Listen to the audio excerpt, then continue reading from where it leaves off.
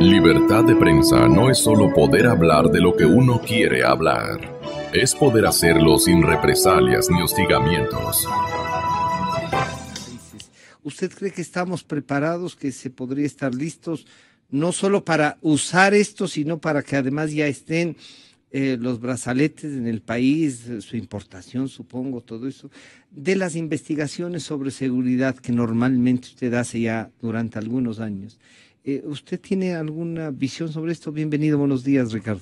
¿Qué dice Naciones Unidas? Eh, dice que el Estado debe preguntarse primero por qué va a implementar un sistema de monitoreo electrónico, es decir, de brazaletes. ¿Cuál es la razón? Entonces, la, ministra eh, de Justicia debe exponer o ya debe haber expuesto, ¿no es cierto?, cuáles son las razones para para dedicarse al sistema de monitoreo electrónico, que no está mal. Ya vamos a ver más adelante que técnicamente esto, esto funciona.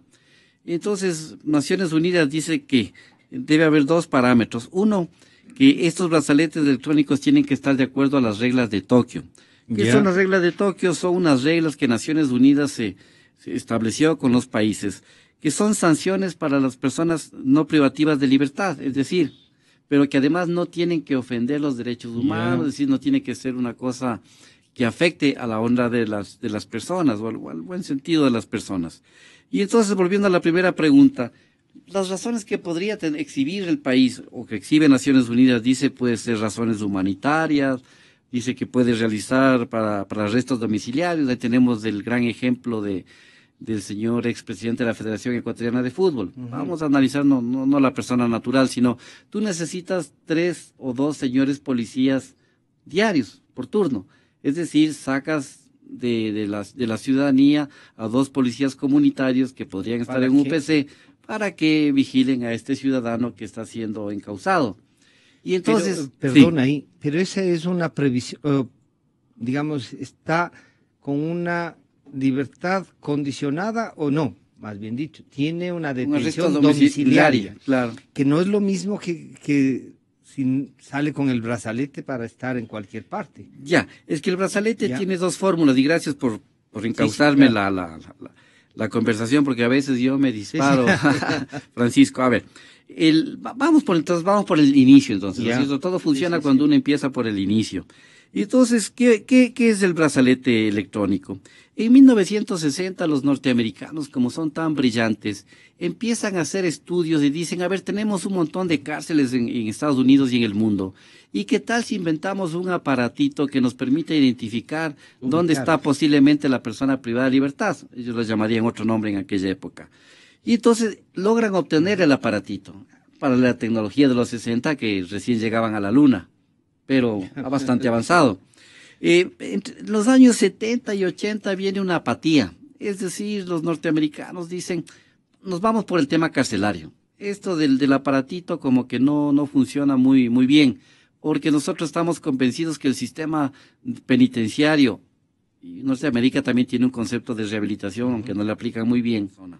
Y entonces ahí tenemos dos tipos de tecnologías. Uno que es el RF, que es la radiofrecuencia, que se utiliza más para el arresto domiciliario, que sería para el caso del señor expresidente de la Federación de Fútbol. Es decir, él tiene un arresto domiciliario donde el juez debería marcar, es decir, cuántos metros cuadrados tiene el domicilio. ¿Cuál es decir, va a ser la movilidad? La movilidad y que no pueda abandonar, pues ese... Claro, porque si hay un sauna, un turco cercano que pues tiene... mire, eh, bajar a la piscina, la piscina. no, no puede abandonar, no está, pero de, actualmente, está de vacaciones. A ver, no dudo de los señores policías que están ahí, mi respeto mayor, pero sí posiblemente me pide de buenas maneras una persona con arresto domiciliario y me dice... Ahí, ahí, ahí echaríamos de mano esta, en la condición humana de que el, el que está haciendo cuidado termina también haciendo amistad con lo que les Es que termina. mira, que es bien difícil. la condición si, humana. si yo llego a cuidar a, a, ti o tú a mí, a Ricardo Camacho, tú eres el señor agente. Y pasamos durante el primer mes, somos un poco distantes, pero al, segundo mes te invito a desayunar conmigo Te, te, te trato súper bien. Te doy mi palabra de honor que no Que me no voy me a, vas a fugar. fugar. Es más, yo como policía no voy a permitir que te fugues. Claro. Pero si me da- invitas a desayunar, a almorzar, O sea, me das se, un se trato. relaja la relación. se relaja. Y, y yo ¿Tú te crees digo. que la, po- la policía sí, bueno, humanamente? No, no, yo hablo de la sí, sí, humanidad. claro, no podría sí, yo poner un adjetivo sobre la policía ecuatoriana claro. o suiza. No, no, no. Lo que te digo es el lado humano. Y después te digo, mira que aquí hay un lindo spa. ¿Por qué no vamos Entonces, con el, tráete tu terno de baño mañana? O yo te compro. Y vamos juntos a la Ah, pero, piscina. pero eso ya, ahí sí ya sería una cosa que no se puede. Claro, Porque le- fuera los la legalidad. policías, claro, que podrían caer en esa tentación, pero sí, ahí sí ya sería. Pero o sea, ent- que los entonces, policías, si nos están escuchando, eso sí no es posible, deberíamos pues, decir. la- entonces, ¿qué hace la tecnología? El- eliminar el lado humano. Mira, le, le deja técnicamente. técnicamente, es decir, primero te ahorras dos o tres señores policías. Tres señores policías que pueden estar, estar haciendo servicio, eh, patrullando, haciendo eh, prevención del delito, estar en UPC o cualquier otra unidad que estén asignados. Es decir, el país pierde tres buenos señores policías. Por los turnos me refiero sí, sí, diarios. sí, sí. Eso multiplica con los francos que debe tener porque el policía no puede trabajar sin descansar, pues no es un robot. Y dos, elimina esa discrecionalidad eh, humana que Sí, nace sí. entre... Que podría provocarse, ¿no? En- Mira que cuando a ti te, te toman de rehén y tú ya pasas mucho tiempo con el rehén. terminan incluso a veces optando por la militancia de quienes le, si es que ha sido ideológica sobre todo la, la- Mira que, que el gran, la gran toma de rehenes en la, en la embajada de, de Japón en Lima, el MRTA, el Movimiento Revolucionario Tupac Amaru, duró cerca de seis meses. Y la relación que llegó a existir entre los... muchos escribieron no sobre el tema que- Inclusive quien denuncia que le ejecutan a, a uno de los chicos del MRTA, que yo lo conocí, Sí. eh, por razones de trabajo. Y entonces él denuncia que él levantó las manos Y que de todas le- maneras lo, lo acribillaron. Y eso dice el, el- el- el miembro diplomático de la Embajada del Japón y el policía honesto que declaró. Y la persona que cometió ese delito está preso hoy. Ya. Entonces, entonces volviendo al tema, entonces esto tenemos... de los brazaletes, entonces tiene Tienes- un mecanismo, digamos, tiene una forma para ayudar el control de determinados tipos de detenidos. En el caso este de arresto domiciliario y aquellos que están sueltos, Ya. que no abandonen la ciudad, qué sé yo. Entonces tienes el primero que se inventa, que es de la radiofrecuencia. El RF es un poquito más antiguo. Está conectado mediante un módem muy pequeñito a la línea telefónica. Ah, y se conecta con la central de monitoreo, que dice que lo van a conectar al ECU 911. No conozco cuál El será la, mecanismo, la- mecanismo. Y después aparece muy, muy cerca el GPS, que es a través del satélite. Claro. Es lo decir, que ya se usa comúnmente, comúnmente. para los vehículos, Y entonces estas para personas- el teléfono celular. y entonces estas personas ubicadas del brazalete con el, con, con el GPS pueden movilizarse a ciertos lugares que está permitido. Es decir, Ya. para que él vaya a estudiar, para que él vaya a hacer actividades. O sea, pa- para lo que está permitido lo- legalmente, además, pero sobre todo para controlar por dónde está su Ya. movilidad. Por ejemplo, si es una persona, no sé, que tiene problemas de... de Podría pasar, por ejemplo, con alguien que no ha pagado las pensiones. Exacto, y, o tiene maltrato familiar. Ya. Es decir, es un pega mujeres. controlar que no se acerque a la casa de quien fue la que le denunció. El GPS da Ya. una alerta que a un kilómetro, Y ahí está. entonces te pita. Entonces hay que... o- y la nueva tecnología dice que se puede unir las dos. Ah. La radiofrecuencia con, el Con el GPS. GPS. El GPS posiblemente, posiblemente más o menos, de una diferencia de 15 metros. Es decir, eh, Francisco Rocha está sentado aquí con el GPS y posiblemente entre, entre un rango entre, entre 0 y 15 metros, que no es gran cosa, ¿no? Pero esto permite la movilidad, Ya. mientras que el RF te permite, no te da un rango, si te sales un centímetro sí, sí, sí. del rango, Y ya, ya, ya está ahí, te saliste. entonces se acabó el sauna, se acabó el turco, se acabó la Y piscina, está bien. y, y está bien, y hay un ahorro para el Estado. Ya. Digamos más adelante entonces.